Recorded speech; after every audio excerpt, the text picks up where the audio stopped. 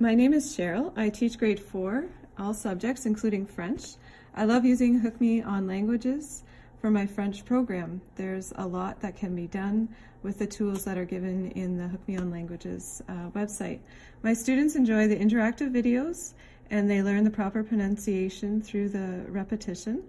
What's great about Hook Me on Languages is how much more they make available. The scripts are great to use for French reading, and it's fun for the kids to role play and reinforce what uh, they heard in the videos. I also like the themes that the videos go through, and I use these to make grammar learning interesting. The videos, for example, the video about going to the grocery store, we looked at the verb to take and how to conjugate prendre.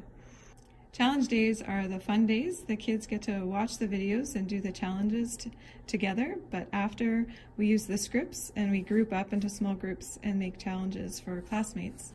If I have students who are struggling with French in the class, uh, the Hook Me on Languages is great to take home and for parents to practice with their children at home for extra help and reinforcement. I would recommend Hook Me on Languages for any teacher teaching a French language program or in her own class.